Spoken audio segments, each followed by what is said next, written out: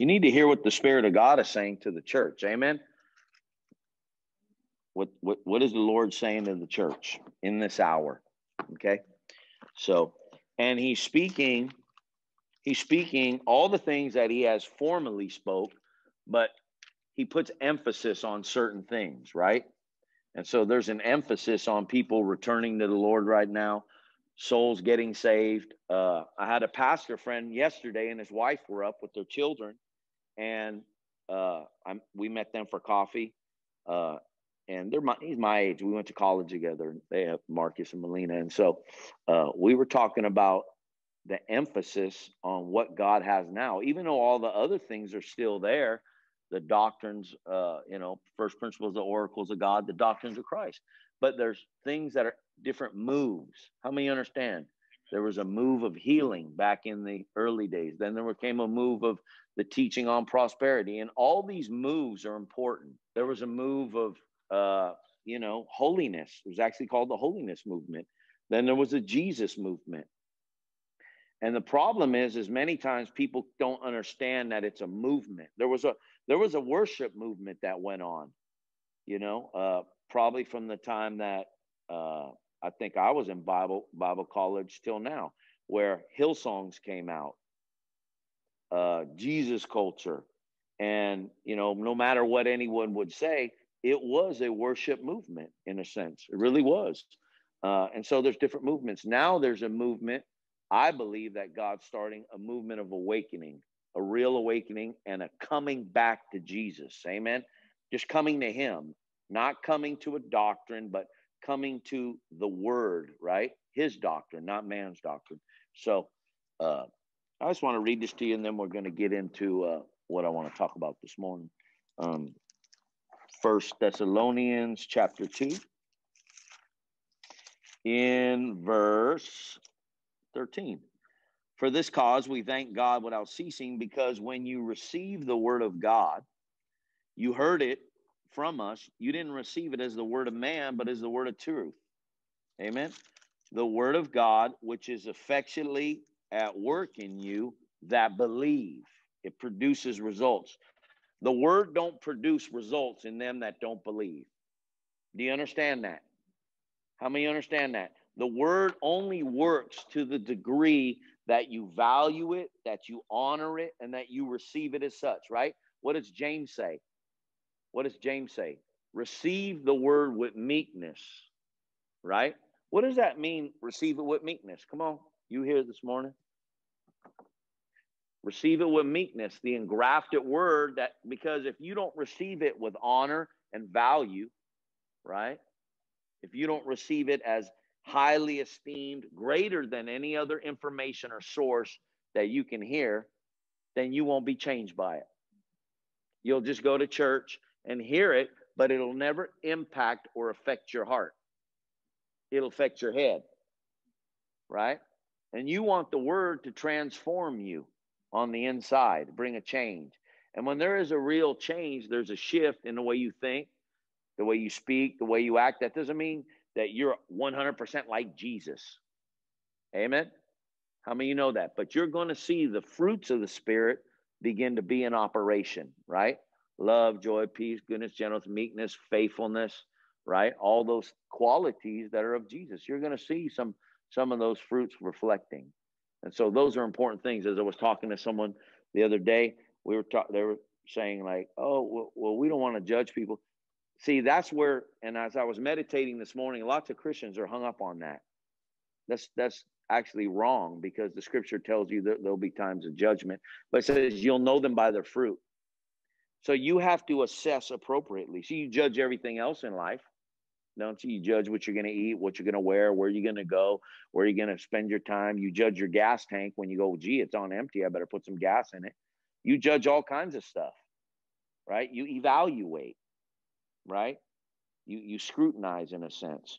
Why? Because you need to know where you're going to invest your time and your energies, right? You evaluate with people, right? And a lot of times, you know, what people you can be around, what people are going to receive how many understand what I'm saying?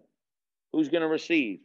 Or who are you going to, you know, be around? And, and it's important. As you get older, you only have so much time. You only have so much energy. you only have so much resource. And I made that mistake early on the early days. You just investing too much. And some say you can never invest in people too much. See, that's someone that's never invested. That's somebody that's never been around people. They've never been in a position where they've been investing, right? Paul can even tell you, you know. So uh, he doesn't want his labor to return vain, doesn't he? He wants some fruit, right?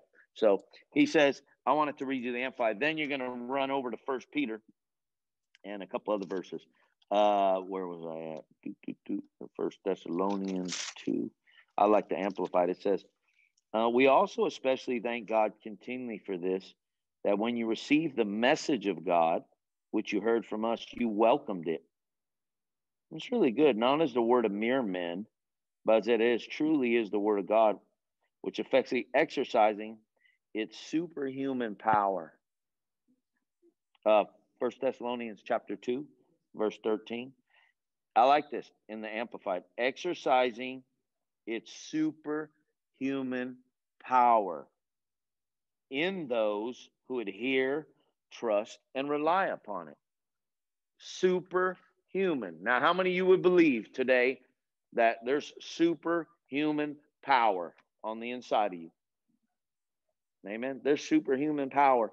And in this hour, listen, I want to tell you, you need to live by superhuman power. If you're going to get through this, I'm not going to turn over because it tell you even even if so, the elect could be deceived in this hour. I, I personally believe that whether anyone agrees with me or not, I believe that uh, there's some uh, distortion, there's deception going on in the world right now, and uh, you know. But if you're in the Word, then you're not gonna uh, I don't want to say victim because I don't like the word victim. there ain't never really any victims, is there? You just kind of yield yourself to a certain thought, a certain mindset, a certain way. There ain't no real vi- there. There's victims when it comes to acts, but I mean, just saying in general, you know, because you choose, don't you, what to receive. You make a decision and a choice, like Martha and Mary, right? Martha chose one thing, Mary chose the other. The scripture says, and Jesus honored it.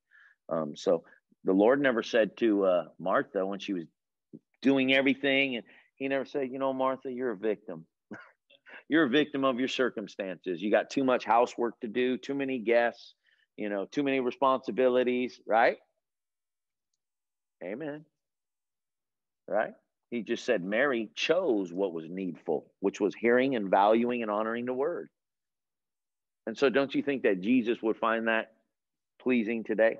right? Doesn't mean someone says, well, I can't neglect all these things. It's like you don't have to neglect those things, but you do have to prioritize and value the word so that you can keep all other areas in proper balance, right? So praise the Lord. I like that superhuman power. Amen. All right. Well, um, let's see where we're at. We've been talking about love. So go on over to First Peter. It's so quiet this morning. Praise the Lord. All right. We're going to go to Peter. Then I want you to go to Revelations and Revelations and Peter. Okay. And I've had this discussion with many people, even the uh, pastor yesterday, friend of mine, because, you know, when we're talking about the love of God, we need to see it in a greater picture in this hour. Uh, you know, I, I shared with uh, a gentleman yesterday, uh, a pastor friend of mine. I said, you know, I heard the Lord say to me during prayer on Wednesday night. It was a couple weeks ago. He quoted that verse to my ear, like I heard a man speaking, and he said, "Multitudes, multitudes, multitudes are in the valley of decision. The Lord is near. Multitudes." And right away, you would think that that's the unsaved, the lost. You would think but do you know Joel was not speaking to unbelievers? He was speaking to the to the church of that time. And although it includes unbelievers, because God would have all men to be saved, come to the knowledge of the truth. How many you know that?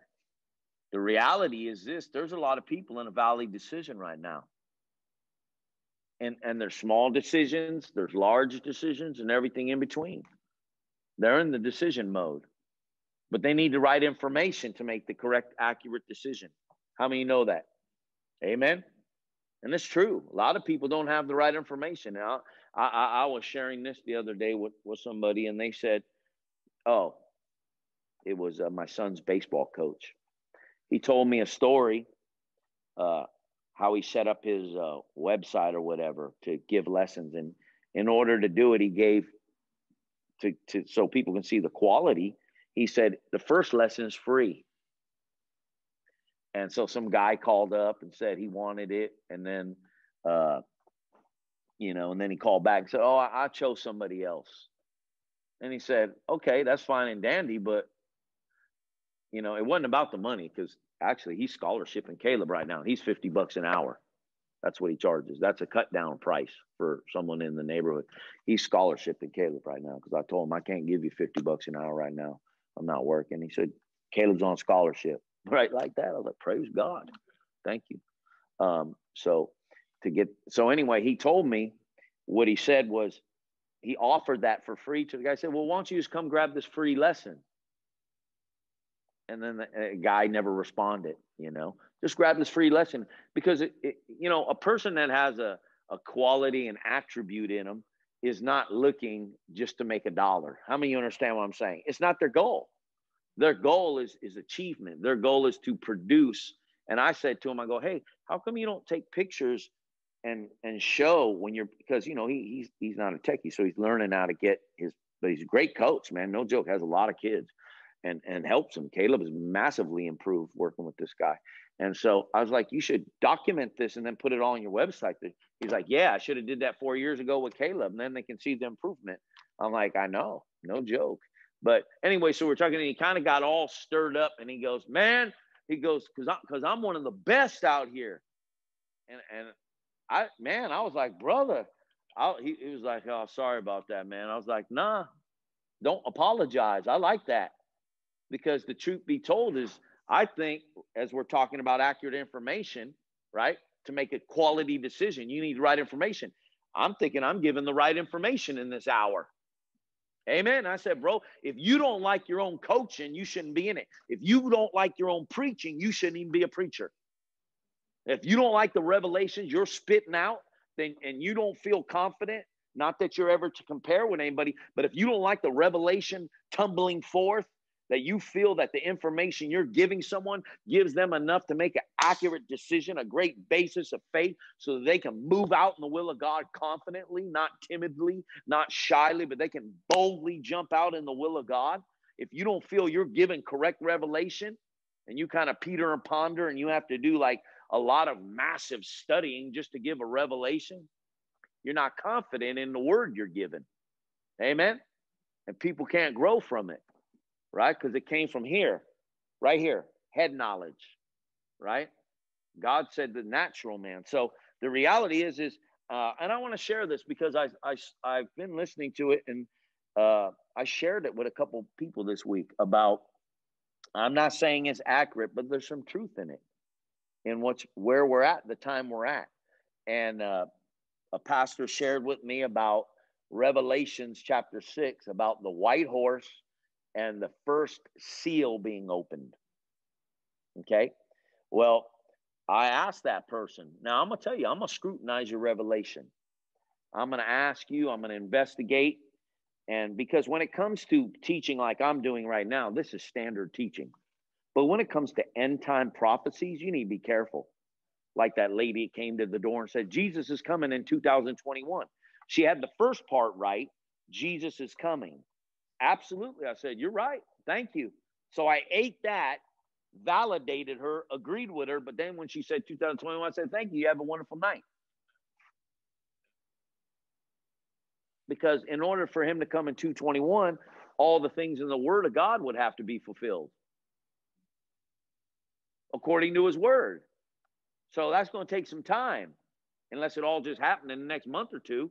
I mean, it could. It's possible in the next three months you know, just things break out and just go, you know, Jesus come back in 2000. I mean, that's possible, but there'd have to be a lot of stuff.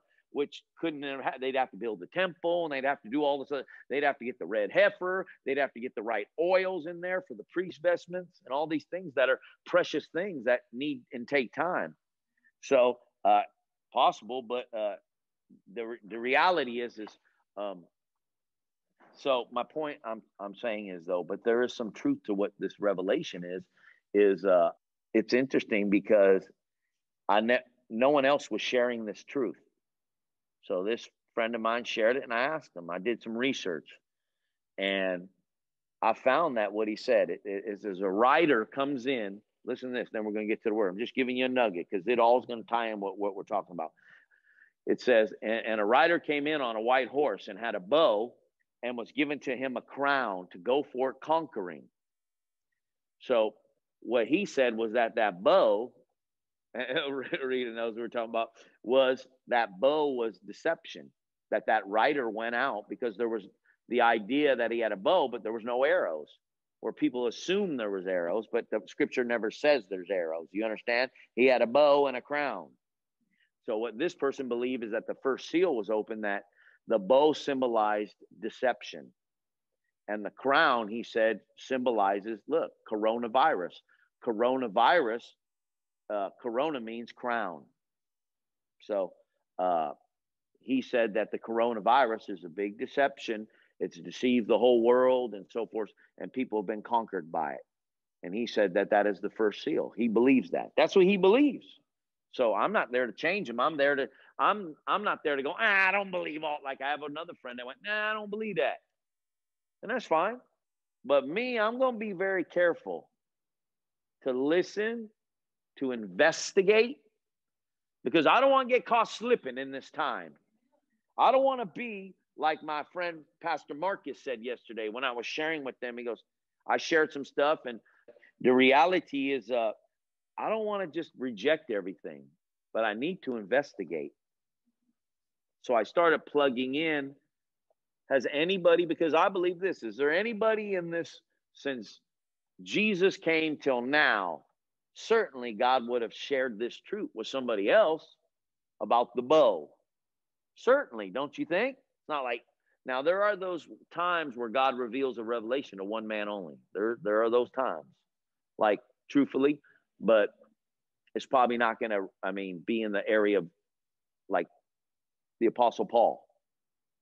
He's the one that had the reality and revelation of in Christ. Even Peter said, read Second Peter said, Paul has some things that are really challenging to understand, but later on he got the drift. Okay. And so God used him to write three quarters of the New Testament. So uh, here's the reality. So I looked it up on my own as researching. There was one guy, one guy that said, listen, one guy that said, well, yeah, the bow. So I called the other guy back and I said, well, have you been in any Bible studies where you've heard this idea that you're sharing with me? Um, did you ever hear anybody preach on this? Uh, um, how did you come to this understanding? You know, so ask the questions. Before I told him, I did some research. So he said, "No, I I I was just reading, and and it just was there." I said, "Okay, cool, man. That's how that's how it happens with me. I mean, I could show you this morning. I just opened up the word, and there's the word that he's coming again. So every time I've been opening up the Bible, every time I go to the right place, and there it is. He's coming. Now it's not a coincidence. I'll read it to you right now. I ain't even read that se- section, that chapter in a long time. God will tell you, He's coming, He's coming, He's coming. It can be five to 10, 20 years. I mean, I don't know. How many of you know since the time of Adam, He prophesied, He said, Her seed will bruise your head. Well, it took 2,000 years. Just read Matthew, it gives you the breakdown 14 generations. Okay, from the time till Jesus came. So if he says he's coming, he's coming. That's it. You need to say, The Lord's coming. That's the message of the hour. Prepare yourself, he's coming. Don't be like the virgins that didn't have enough oil in their lamp. Huh? You don't wait till that last hour. Uh, and we heard that.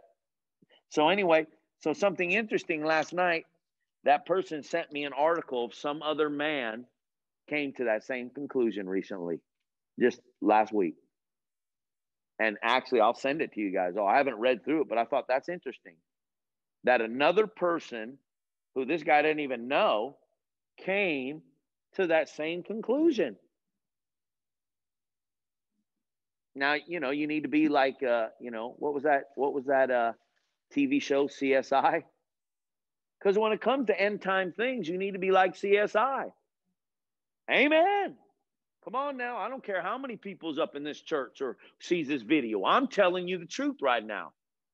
I'm telling you the truth. You need to be circumspect when it comes to end time and prophecies not just jump on any bandwagon, but I believe the Lord's coming. I believe there's some truth to that. I believe the bow is the truth about doubt. I believe that. You know, I believe that. Now, as far as is that the exact coronavirus, I can't say that, but it seems there's something there. So only time will play out. I can also tell you this that that same person told me about something in the book of Daniel and it was about what he said. I can just tell you, he said this about Trump and Iran. He said this. And last week, Trump was on Rush Limbaugh and said some, you know, incriminating statements. And I thought that's really interesting. So, but like I said, things are things seem to be happening right now. And you and I are not to fear. Amen. Jesus said, when all these things take place, look up. Look up because your redemption draws nigh. You ain't supposed to be looking on the earth anyway. You're not supposed to be. You're supposed to be looking unto Jesus, the author and finisher of your faith. Scripture says that uh, uh, that's in Hebrews, and then in Colossians three it says, "If you're risen with Christ, Seek those things which are above. Set your mind, set your affection, set your attention. Amen. Set your you're not supposed to be looking at nobody. Right? You're not, you're supposed to seek first the kingdom of God. You're not supposed to be looking at natural things. Someone says, Well, how do I do that? It's simple. When you're pursuing the kingdom of God, you'll get the things done. There's a super human energy that's at work in you that facilitates and directs and guides and leads your life so that you ain't wasting time. How many you understand what I mean? There is. It's the Holy Spirit guiding and counseling you. John. John always looks so good when he shaves his beard, I swear. it's true. Okay. Can I get a witness? No. All right. So here, let's move on now. Go on over to First Peter and then Revelations 1, because we've been talking about the love of God. But I want to define the love of God because some people think that the love of God is just them being validated, them being endorsed, and then God, as I as I wrote this down, this word came to me this morning. Uh, we need it, we're trying to catch the full view of God's love, um, not just listen, His lavishment of external things. Okay, now, we when you say that, you need to be careful because people right away their ears perk up and say, "Oh, you're against prosperity. You're against blessing." I ain't against prosperity or blessing at all. Amen. The blessing of the Lord makes rich and adds no sorrow. So you got a whole lot of people that go, "Man, I ain't into prosperity. I know, but you're broke. You don't tithe. You don't give, and the church ain't built. You can't even feed the poor. So why are you not believing in prosperity?" Okay, the Lord tells you it's a blessing of God. So he wants you to thrive. He wants you to prosper. Jesus said you can't serve God and mammon. The only problem is you don't want mammon having you. And a lot of people, because they're, I'll just say it like it is, because of where they're at in their stewardship, mammon controls them. But but if you're serving Jesus, mammon don't control you. If you're serving Jesus, you say, Yes, Lord, like King David. King David in First Chronicles 29 said, I'm just giving to you, Lord, what is yours? He never said, Oh, here's just the tithe, Lord. The Lord said, Hey, I need you to go make a withdrawal of like 10,000 and distribute it. No problem, Lord. I'm just getting and gave excessively to the house of God. Right? That's King, that's King David. That's why he had a heart, even though he had some other issues in his life. A couple times broke protocol and procedure, had Uriah killed, committed adultery, had some other issues going on in his life. But the Lord said he had a heart after God. He was quick inside, right? So God wants us to prosper. So we know that that's established. But for some others, I'm not saying in this church, but uh, I don't think so. But if I'm wrong, hey, receive the word. For others, I think they need to come back to to the centrality of who Jesus really is. Amen. He's still lavishing, but I believe Jesus has said, now, here, let's take the focus off that. That's established in you already.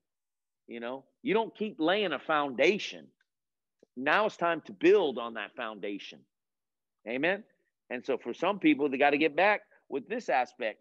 He doesn't want to just lavish external things upon our lives, but he's given us the endowment, the greatest gift, which is the Holy Spirit and all his attributes. Hasn't he? The Holy Spirit and all his attributes. So for a believer, you and I, and, and we already know this, but it, it doesn't matter what we know. It's what you need to be reinforced in. God's given us all things that pertain to godliness and life. That excites me.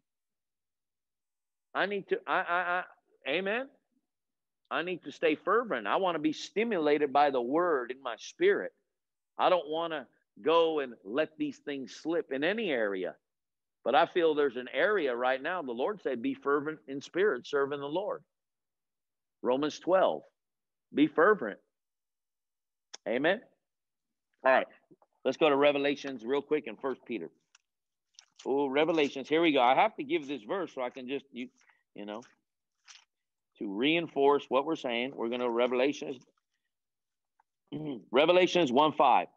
And from Jesus Christ, the faithful and trustworthy witness. Amen. Come on. Now I want to say this because I got out. Is Jesus a trustworthy witness? Help me out this morning. The quicker you say amen, the quicker I can get through this method. Jesus is a witness. What is Jesus witnessing to? I mean, what is he witnessing to? What's it? The love of God. I mean, when Jesus witnesses, what is Jesus? Come on, think. What is Jesus witnessing? A lot of people think, well, Jesus, what's he witnessing to? Love of God, but but in more defined terms, what Jesus is attesting to and witnessing to is what God did in his plan of redemption. That's it. That Jesus say, look at the cross, look at the blood. Because of that, you now have access to my Father. That's what it says in John 14, 15, 16, 17. You now have an access. Oh, Lord, come on. Help me. Here you go. John, real quick. I just want to show you.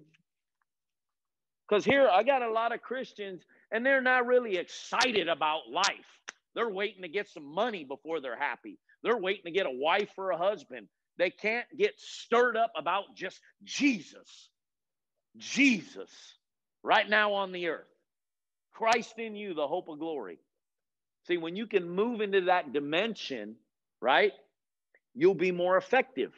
You'll see more money. You'll probably see that husband or wife show up. But God, I tell you, God's a father. He's sitting back going, hold on a second. If I send those resources to you now, they could probably destroy your life. Because I notice you haven't had a lot of time in prayer and in studying the word. If I send that mate to you now, maybe perhaps that mate is going to become your idol. Just keeping it real. Now, a lot of people go, oh, that ain't true. Stop. It is true. The Bible says that Demas have forsaken me, having loved this present world. People go, just loving life. A lot of Christians, oh, I love my life. Oh, I love my life. Where does that say in the Bible, I love my life? Where did Jesus ever say that? He never said, I love my life. That was never his confession. He said, I come to lay my life down. So, a Christian that really wants to impact his generation, now you can say, Man, I thank God for my life. Man, Lord, I'm I'm immeasurably blessed. But when I say I'm blessed, am I blessed just because I got a house and a car and or am I blessed because of what he gave? That the Holy Spirit lives on the inside of me and that I lack nothing. That I don't lack any wisdom. I don't have any. Everyone in here has the same Holy Spirit. Same Holy Spirit. But do you know? It's like what Brother Hagin said. It's not that this person was any more gifted. I'll just tell you this is what he said. It's just that some people have chosen to unwrap that gift. Some just kind of leave it there and watch it and wonder about it. Some are like, they're excavating continually. And that comes through prayer. I'm not talking about 10 minutes of prayer either. I'm talking about people that spend time in prayer for like two, three hours. You know, and that, that that's people go, oh, you every day for one hour. And that, that makes people feel bad. So we live in a whole society now. Oh, that's just works. Why do you dismiss everything? Jesus prayed all night long. Now, if you and I aren't praying two or three hours, it's not about feeling condemned. It's just about saying, okay, Lord, maybe I can get to that place someday. You know, help me to get to start with uh, 20 minutes. Help me to move into 30. I know when I started praying, I was telling someone the other day, it was five minutes a day in the morning. And then one time I started praying with the Holy Ghost. I got baptized, filled. Next thing you know, man, it was an hour every day, every morning, and moving into more. You know, that's that's what happened. You know, and and then sometimes now it, it's it's smaller amounts, but then there's days where it's greater. But I, but I can tell you this: more than a couple minutes. You know, if I want to have a relationship with with my wife here, I've got to have some time spent. There has to be some investment on both ends, doesn't there? And God's invested, but He's still willing to invest. Amen. And our investment time, we know, isn't just at church. Church is a small percentage of your walk with God, isn't it? You know. So, uh, where we were at? Revelation. Oh, he's, oh, I told you to go to John. I'm getting there. I, am telling you, God's handing out some steaks right here this morning. I mean, John, here you go. I just want to see what, what show you what Jesus said. What Jesus said.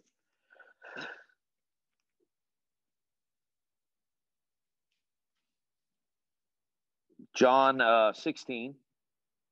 Look at Jesus said.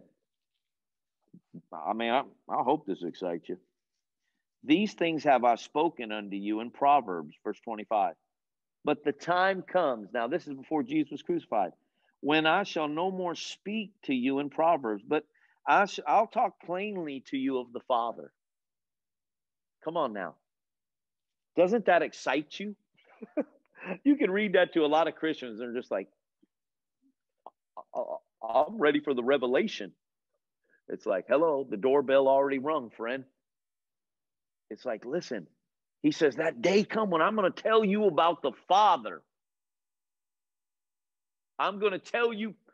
But here's what he says See, at that day, you shall ask in my name.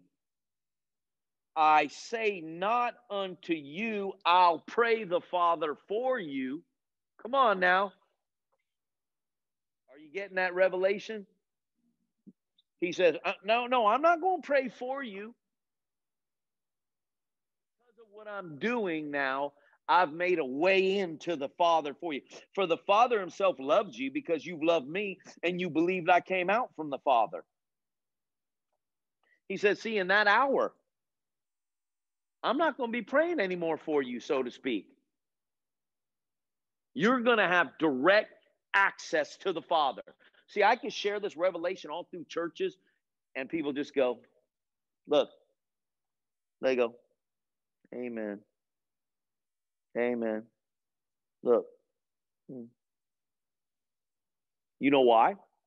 Because that thing ain't revelation. No, it ain't revelation. It's up here.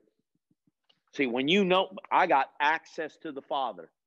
See, there, there's lavishment of God, but then when you when you've had access to the Father, this is what you know about the Father. He does things incrementally.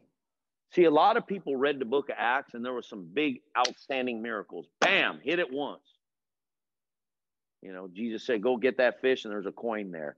Big catch. But I remember when I was first a Christian and I read an Old Testament where the Lord told the children of Israel, I'll drive them out little by little. A lot of Christians don't have faith for the little. Zechariah, I think, or said, despise not the day of small beginnings. They want God just to go, man, bam, overnight. They got a master's degree, they got a bank full of money, they got everything they want overnight. They're not willing to walk that because you know what happens when you walk that course with God over a period of time? You don't waver. when the corona comes, you don't have to shut your door. You don't have to draw back. See, we're preparing ourselves for that day. If that mark of the beast ever hit, what are you going to do? It's all fine to say right now. Oh, I would never take the mark of the beast. Uh huh. You'll be the first Peter there is. How many of you know what I'm talking about? Peter, oh, I'll never leave you, Jesus. I'll be with you forever. As soon as they were at the fire, there's this guy, I never forget, he said, Peter warmed himself by the fire of the earth. They said, Hey, weren't you with Jesus? No, I wasn't with Jesus. Who? Jesus who? I don't know no Jesus. Remember that? And someone else said, Yeah, you look like that. And, Hell no, he said. I wasn't there. Brother started cursing. Hell no, I wasn't there. Jesus, you talking about? I'm a, I'm a Samaritan. He said he started cursing. He started tapping back into that old man when that fear and phobia came and that life preserving mentality rose up in him. All right, here we go. So Jesus said, This is a great thing. Jesus witnesses the firstborn from Revelations 5. I'm going to hurry up. Here you go. Revelations 1 5, he's a witness, the firstborn from the dead, first to be brought back to life, the prince of the ruler of the kings of the earth, to him who ever loves us, ever loves us, and has once and for all loosed and freed us from his sin, from our sins by his own blood. That's pretty powerful, isn't it? Everybody loves that. He ever loves me. Right? I remember when I read this, I thought, you know what that means? That's a perpetual love. That means no matter who loves you in the earth or who doesn't love you, or, or this job got lost, or that person left, or that friend bailed, or who, you learn some that the Lord never leaves you or forsakes you. And a lot of people can say that, but it's something better to live out in your own life that you can walk smack dab with your head held high, as Romans 5 5 says. Now I'm able to hold my head up high and I know all is well because the love of God is shed abroad my heart. He ever loves me. I mean, you get challenging times in life. Man will say, It's all right, man. You know, you're just going through hard times, getting down. But you can actually inside hide that secret and say, Nah. God he ever loves me. Like the other day, I was sitting on my couch and I was going through some challenges, and I was like, you know, it was economic. The devil's been doing that. And I just said, Oh, no, no, no, no, no, no, no, no, no, not going to happen, Satan. Right away, I know where to go Matthew 6. Because as soon as you go with Matthew 6, you have to get your soul aligned with the truth. And the truth is, is what Jesus said take no thought saying, what am I going to eat? What am I going to wear? How am I going to pay my rent? Jesus said, You see, when you think like that and talk like that, you're like those unbelievers over there, for they chase that whole system. They chase it. This is what it said in Matthew 6. Matthew, Matthew 6 is for the big girls and the big boys. If, if, you, if you don't want to get rid of your fear, don't read Matthew 6. Because Matthew 6 elevates you to his thinking. Matthew 6, don't take no thought for today. What am I going to do? Because you'll realize how much comes out of your mouth many times. So, amen. Now, here you go. Go on over to First Peter now. First Peter. And I'm just thinking about these end times that we're in. Let's go to First Peter 1. See, he ever loves us, but then he has that other part where he says, Whom I love, I address, I chasten, I correct. I help recalibrate. I help them to come to a place. Why? Why? What, what's God's purpose of helping you to bear fruit? What's his purpose? He has a purpose. When people can see in our lives, not just our preaching, you know what I mean? It's like we can, we, how many you know this? Right now, you should be building relationships with many people right? Like the other day, I was sharing with a guy. We sat out here for two hours, and uh, I shared some. I've never shared with him that But because we've been building a relationship, I was able to share. And then we went into Revelations, and it, man, it was a beautiful night. And I feel closer to that man. You know, uh, will he come to church? I don't know, but I know he's a believer. I know he is. He wouldn't have sat there for two hours, and he was he even said some stuff back. I know he's a man of faith, and I know his lifestyle. It's not full of pollution. So anyway, um, in First Peter, people see our lives, and then they're going to give ear to us. And guess who we're going to be able to tell them about in this time? Because what you need to do, he that wins souls is wise. Right now in our lives, it's all about in your life, your life, your every person's life here.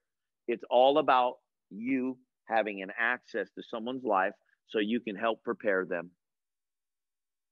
To help prepare them to either meet Jesus or, or escape the pollution of this world.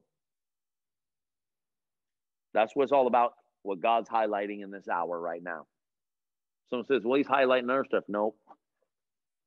What he's emphasizing. Okay? He's emphasizing truth. And truth has to be just communicated rightly. You can share with people eternity, heaven, and hell just by being true. How many you understand? And you and I need to fish. That's what's important to the Father right now. Praise the Lord. So, First Peter, look at this, and I want to I want to show you. He's already prepared you for it, but this is something uh, you and I have to uh, respond to. First Peter, I'm going to read some different verses. Uh, chapter one. I like I like this verse in 22 in the Amplified. In the Amplified. See, what you're not hearing here this morning is how to be successful, you know, in the earth. I can tell you, seek first the kingdom, you'll be successful. We don't have to give you four points on how to lose weight and be successful and do this and do that. You can just hear the word. And the word does everything it needs to do. See, it's not up to anybody that's ministering to make the adjustments in your heart. The word of God does it when you receive it. See, if you receive it, not as the word of man, but as it is the word of God. You're sitting here this morning go, man, that's the word of the Lord. He's going to help make the adjustments. The power is going to be released in your life, not only to change you, but then to offer change to others. So look at this. First Peter, he says this. Uh, verse 22 i'm going to read in i better read it in uh, king james first and then i'll read in amplified he says seeing you've purified your souls in obeying the truth through the spirit unto unfeigned love of the brethren see you love one another with with a uh, pure heart fervently with a pure heart now there's no more pure heart than to want to bring somebody else in I'm telling you, there's no more pure heart than that. We can look right here. We can see what the Apostle Paul said about his life. He said, uh, let me see if I can find that real quick. If, if and if I, my life be offered as a sacrifice and service to your faith, I rejoice and glory in it. Amen. Now, how someone says, "Well, I don't know if I could be at that place today." Well, with the help of the Holy Spirit, we can all move in that direction. Let's see if I can find that real quick. Uh, here you go. Uh, go to Philippians chapter 2 and verse 13. I'm going to start there. For it's God who works in you both to will and do of his good pleasure. Philippians 2:13. Do all things without murmurings and disputings and complaining, that you would be blameless and harmless, the sons of God, without uh, rebuke in the midst of a crooked and perverse nation among whom you shine as lights in this world, holding forth the word of life, that I may rejoice in the day of Christ, that I've not run in vain. Amen. So there's Paul even saying, Is it possible Paul could have ran in vain? That means what he invested in someone may not produce the results that Paul knows that should be coming forth. Amen. He says, I don't want to run in vain. Neither do I want to labor in vain. That means I don't want to invest my time, my love, my energy, my revelation, and you just treat it like it's nothing. Like it's a piece of trash, hear it, throw it in a trash bin, and call it a day. and go on your merry way. Right? That's what they that's what they did in First Chronicles 13. And what happened? They slapped the ark in a cart, treated it like it was what? Come on now. Ordinary. Broke protocol procedure. Uzzah got killed. Then a house went up. Oh, oh, uh, uh, what's his name? Obed-Edom went over to his house. Not only was his house blessed, but it said all he had. The Lord specified all he had. That meant that not only was he blessed in his life, but things he had started to pop like popcorn, being possessions, natural things. Why? Because he valued it and treated it with honor and respect. Treated God's house. Amen. Treat Treated the Lord's things. So Paul says right here, he says, Yes, and, and verse 17, if I'm be offered on the sacrifice and service of your faith, I'll joy and rejoice with you all. For the same cause, rejoice with me. I mean, that's a hardcore hitting brother. Really, let's just how many people you find like that today? that's somebody as a leader. How many people you find he says, if I'm sacrificed on the service of your faith, uh, you know, what did he say? Rejoice. Um, I'm glad meaning I'm glad that I'm pouring out my life for you. I'm glad because I know that God's going to reward me. But then he tells them, now go ahead and rejoice with me. I mean, that's some heavy hitting spirituality right there. Right? So now go back to First Peter. Here we go. We're cruising. First Peter. I'm gonna read the Amplified. This is the one I, because this is what I really like. First Peter chapter one, since your obedience to the truth through the Holy Spirit, of course, right? Because we're talking about the spirit led life, not the life of you out of your own flesh. You've purified your hearts, uh oh, for the sincere affection of the brethren. See that you love one another with a what? Pure heart you have been regenerated, born again. Say, I'm born again. Not from mortal origin, seed, sperm, but from the immortal, by the ever living, lasting word of God. See, you and I have been regenerated on the inside. We got something on the inside that society doesn't have. They can't purchase it at a store, can they? it can't be uh, left by an inheritance from a relative, right? You can't find it on the street. Can't buy it at Target or Walmart. It can only come to you by way of faith in Jesus. Come on. It can only come to you by your receiving what he offered. Amen. Now look at this. So this is his love, but look what he says: sincere affection of brethren. Now jump over to verse. Uh, let's see, uh, chapter two. In verse, uh, let's pick it up in where are we at?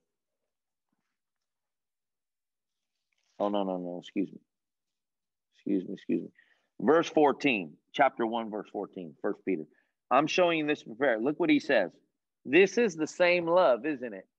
He says, Live as children of obedience to God.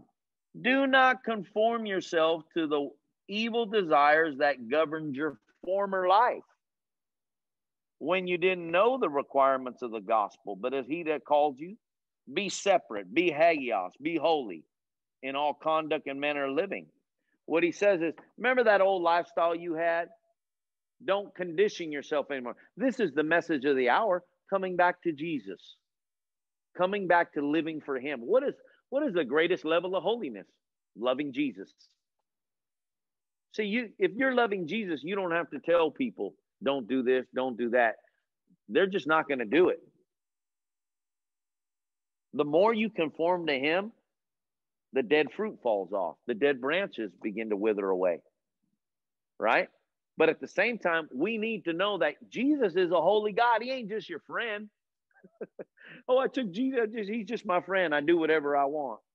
It doesn't work like that. How many understand? As a matter of fact, we, we were talking about this the other day. Scripture says, you know, you can't just say, I'm going to go here and do this and buy and sell and trade. What is your life but a vapor? Amen. He says, don't, but but instead say, if, if the Lord wills, if the Lord wills. Amen. I was sharing, matter of fact, I, I, I, Saraji brought it as a testimony. I was like, I need to see that. Like, this is a blessing because even though uh, she was a big part of the process, the Lord worked. There, there's my official UK card. It's like a credit card. Look at that stamp on back. Praise the Lord. The Lord told me. All for a small sum. Now I can cross the border and release Operation Dynamo.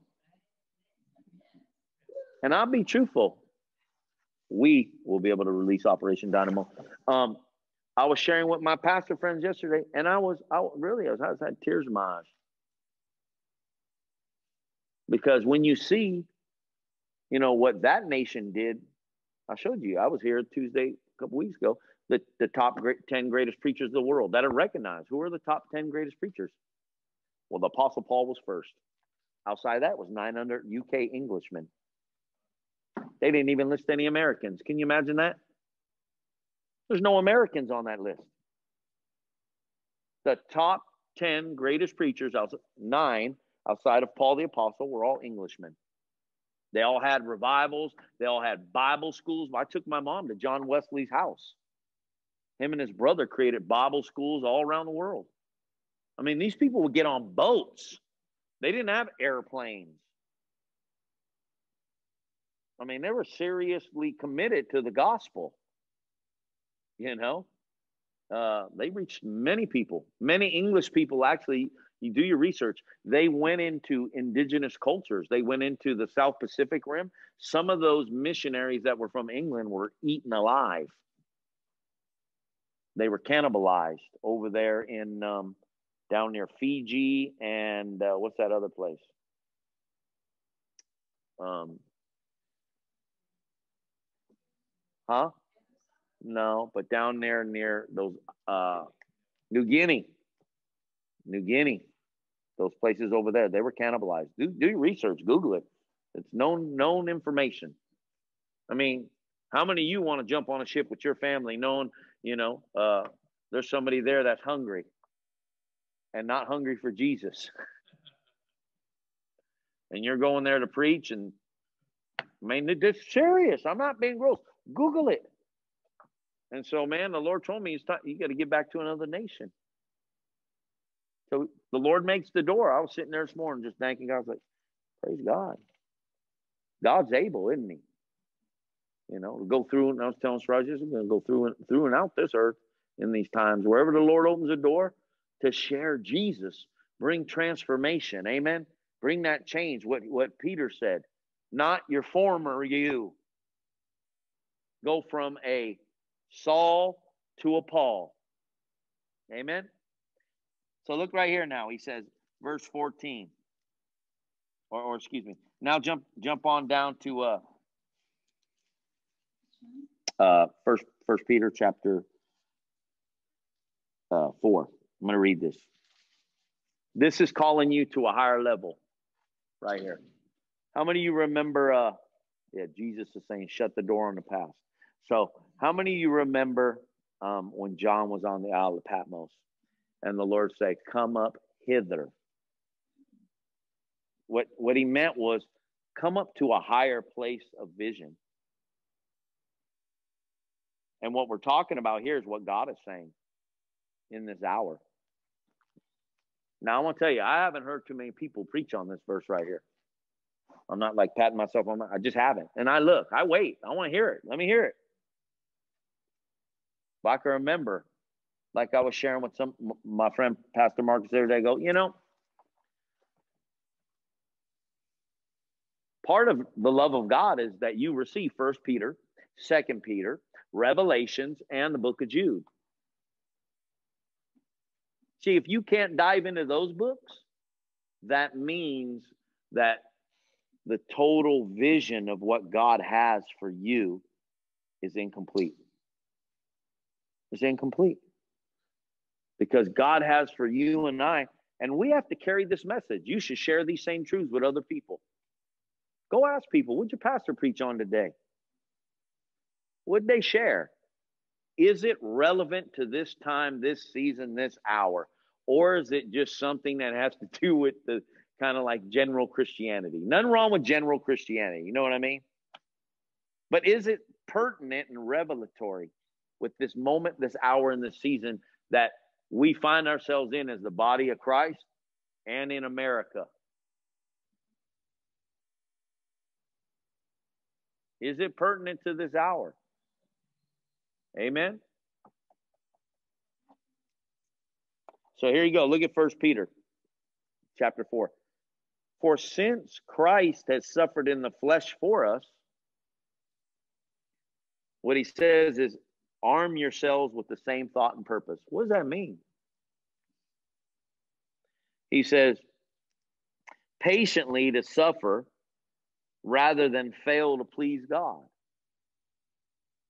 For whoever has suffered in the flesh, having the mind of Christ, is done with intentional sin. Now, I remember reading this early on, and what the Lord spoke to me is this there's suffering in your life.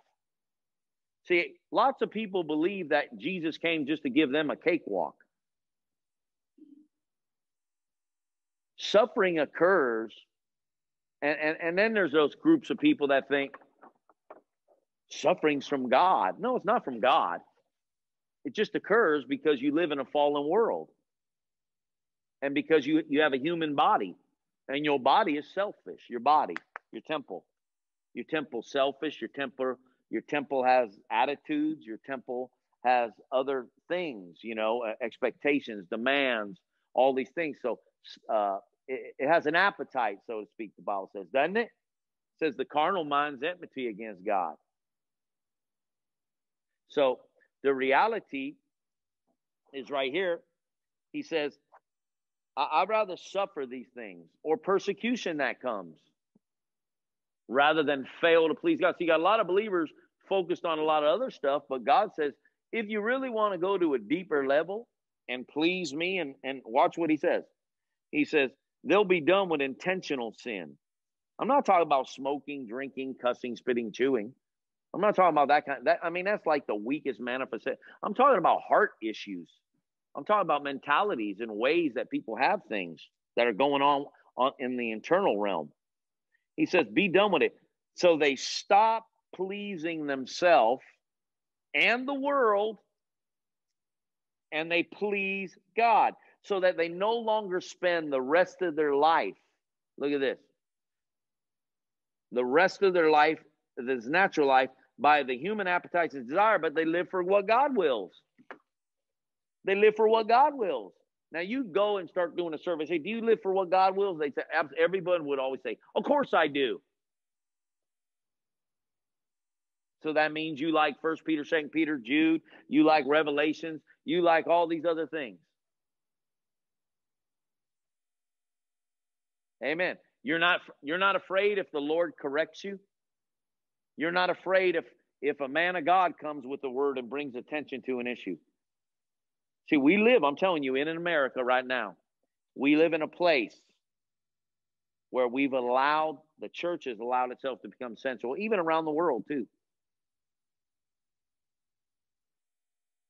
Where they've become more prone to the natural than they are the spirit. And it doesn't mean that you got to be all legalistic. That, that's not, see, people get real legalistic. You know what I mean? They fall into, they fall into places. Amen. Let's look now. Go over to uh, First Thessalonians. Go to First Thessalonians. First Thessalonians. Let me get in here because this is where I really wanted to look. I want to just share some things. See, it is about loving people it's just loving people God's way. It's loving people God's way. And what is the supreme expression of love? What's the supreme expression of love? Tell, amen. Tell people the truth. Tell them the truth. Tell them the truth.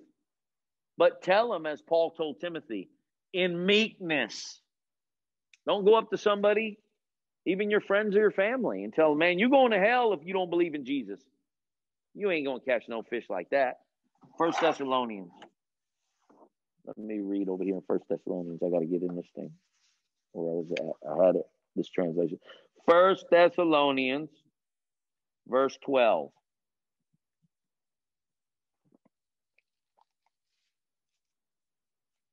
Amen. Put on the love of God in this hour. What I'm essentially saying is take the time to spend with Him and realize what Jesus is emphasizing right now. Jesus is emphasizing you capturing some lives. Uh, First Thessalonians. We're going to read, we're going to start in chapter 3. Chapter 3. First Thessalonians 3. In verse 12, it says, And the Lord make you to increase and excel and overflow and love one for another and for all people, just as as we also do for you, so that he may strengthen and confirm and establish your heart, faultlessly pure, unblameable in holiness in the sight of the Lord. Here it is, at the coming of Jesus. Isn't that interesting? With all his saints. So What's the Lord saying right here, folks? What we just mentioned this morning. He's saying, preparing yourself. But see, it's not just the Lord's coming, it is repentance. But you know what it is? It's rendering your heart inside, it's preparing your internals for His coming. Amen. And I'll tell you this I didn't get a chance to read it last week, but the Lord prompted, He had, I, I for whatever sake of time, but the Lord said this there's going to be people right now, and I'm telling you, hear what this is. I'm going to read it to you. Here's people right now. They'll hear this message, and uh, let me see. I got to read it. Nevertheless, do not one fact. Uh, excuse me. This is just stay, keep where you're at. Second Peter three says, uh, Understand and know in the last days, there are going to be scoffers and mockers. People who go after their own desire. And then they say to you, Where is the promise of his coming? For since the forefathers fell asleep, all things they've continued the same. This is just part of life. They're saying that now. We're going to get through the election. Everything's going to be hunky dory. It's going to be okay. Uh, you know, this is this. We've had this happen before. You know, Martin Luther King, Vietnam War, uh, you know, infectious diseases, all these things. They say these are things that just happen. When you say, the, prepare yourself, the coming of the Lord, they say, this is what they say. And God put it in here because he knew they had mouths like that. It's right here, Second Peter 3. And then he says, For they willfully overlook and forget the fact that the heavens came into existence long ago. You can read the rest of it. Verse 8 says, Nevertheless, do not let this one fact escape you. But with the Lord, one day is a thousand years. The Lord does not delay and is not tardy, slow about his promise, according as some people's conception is slowness. He's long suffer, extraordinary patient towards. He doesn't want any to perish, but all should turn to repentance. Then you can read, but the day of the Lord will come like a thief. He'll come like a thief. Then the heavens will vanish away and all the other stuff. Since you know this, see what kind of person you ought to be. Consecrated, what your behavior, devote godly qualities while you wait earnestly and look and expect that day. Amen. Here you go.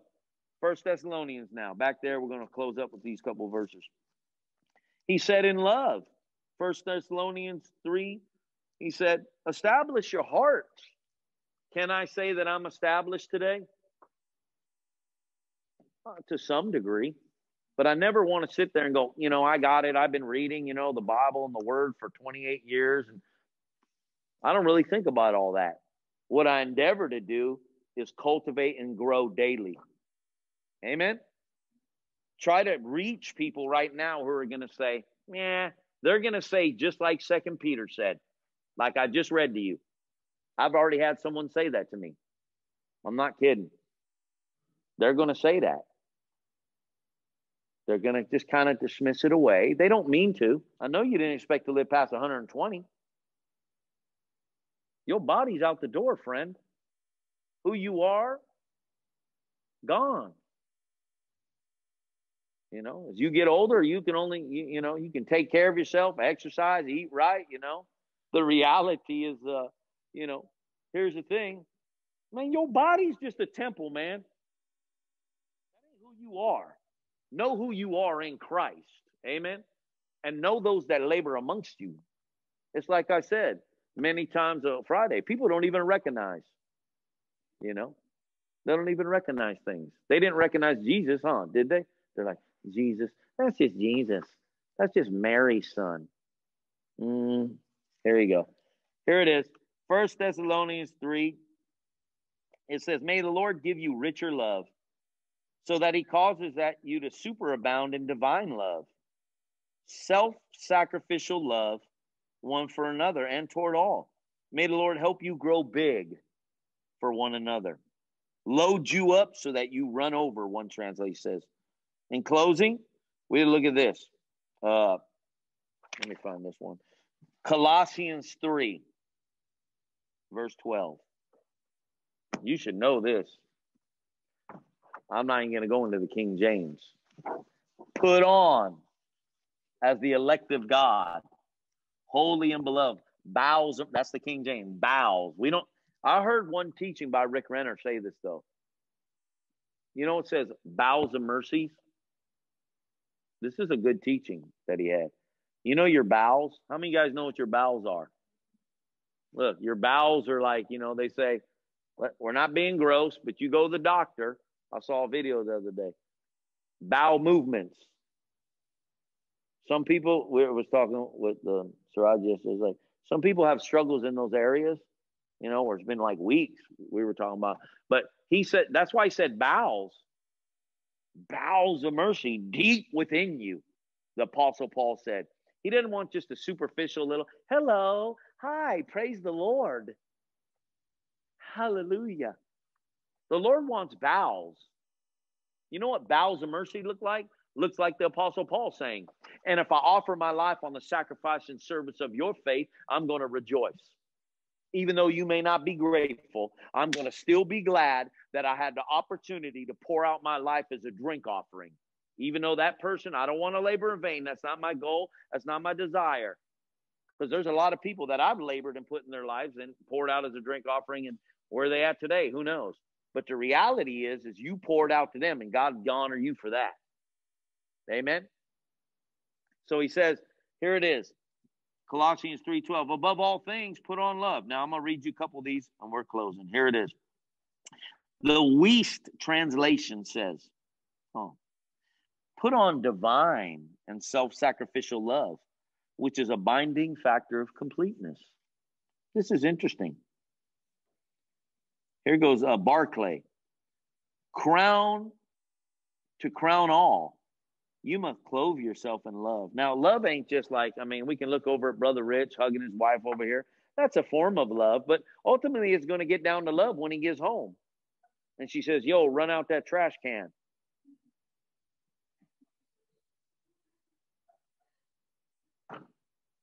So we're all growing in different attributes and understandings and you know what I mean? Or if or if somebody in the church says, "Hey, man, we need you to clean the toilet," or what? I don't know. You get my point. Love takes on many. That's why everything we've read. Notice how it says self-sacrificing. Never said it was all about me. Everything we read in love had nothing to do with me. And I know a lot of people's flesh goes, Well, what do I get? You got Jesus, friend, to set you free from the bondage of yourself, launch you into a place where you're actually happy, like the Paul, Paul the Apostle said, Hey, whether I got a lot of money in the bank or I ain't got nothing, I'm still happy. You can't take my joy, steal my joy. Doesn't matter. My joy in my life and my faith ain't based on what I got externally. And you think, well, how does that play itself out? I'll tell you, as you get older, you won't have to go to the hospital as much. Now, I'm telling you the truth. See, people think, well, all those people they go to the hospital. You know why they go to the hospital? Because when they were young, they sowed resentment in their hearts. They sowed hatred. They sowed jealousy. They sowed inequity. And then later on, it manifests. People during this time, they don't have Jesus. So, of course, their mind's going to be on tilt. They're going to be on tilt because they're governed by fear. And fear does crazy things to you, doesn't it? So here it is. We just, but now I don't even trip off anymore. We, we just move forward. Here it says, most of all, let love guide your life. As important as a new piece of clothing, be sure to wear love because love is the evidence of maturity. Cap it all, love holds everything together. And you know what I've heard many times? You have to put this on yourself. When you miss it, you and I are going to miss it. I mean, there's nobody that executes love perfectly. But love never fails. The inverse of that is is repentance. It's correcting yourself when you're out of love. Right? And sometimes you get out of love with a bad attitude, a word out of your mouth, an action. But you and I, we just make the adjustment. And what God's calling us is to get back, focus on Him, and understand the Lord's coming. I'm not even going to give you the other verse. You'll have to catch it Tuesday. Amen. This message was brought to you by Living Water Fellowship San Francisco. You can connect with us on Facebook or email us at sflivingwater.com.